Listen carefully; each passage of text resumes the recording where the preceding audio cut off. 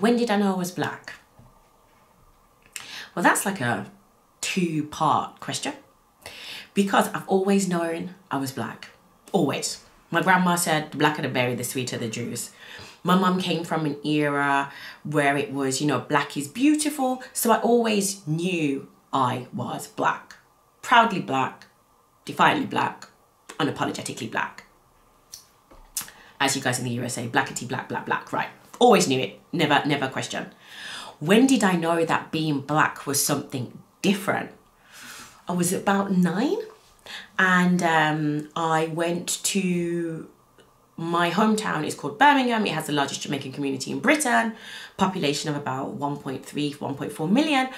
Um, and, you know, I saw black people all the time. That wasn't a really big deal. Now, maybe I went 20 miles, 30 miles maximum outside of Birmingham.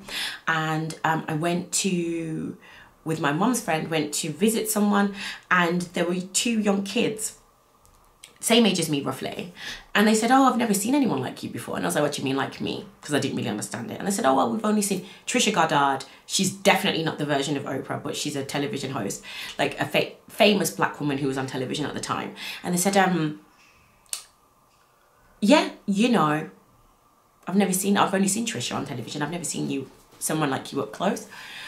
And at the time, I didn't I didn't really process it as being anything. I thought it was hilarious. Like, how could you not see black people? Because where am I? Where I am, there's all black people. Like, what's going on? Um, and I remember kind of relaying the story. I think I relayed it to my mom. I think I relayed it to like friends, but not because I was little. So you know, it wasn't in any sort of context. It was this is funny. Somebody said they'd only seen me look like someone like me on television. And I think that that was really the first time. But once again, it wasn't. I didn't really feel any particular way about it. I just thought, hey, they're strange. How can they have not seen black people? This isn't that far away from where I live.